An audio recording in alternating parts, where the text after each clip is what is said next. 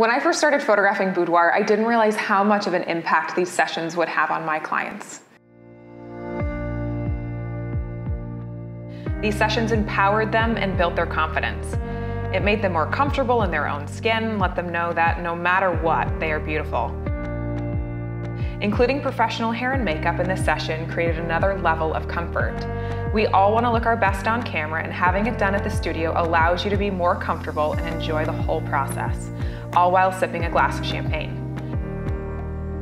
When my clients see themselves in the mirror all dolled up, they have a fire in their eyes. They feel sexy, confident, and ready to take on the world. It's not about being a model, but feeling like one. Sure, there still might be a few nerves when you get into your first outfit, but once I start walking you through the poses, the nerves will be gone. It's so rare that a gift you give someone else is also a gift for yourself. Treat yourself to a day about you, a day you will remember, especially when you look back through your album. Call me to get your session on the calendar so that you can feel on top of the world.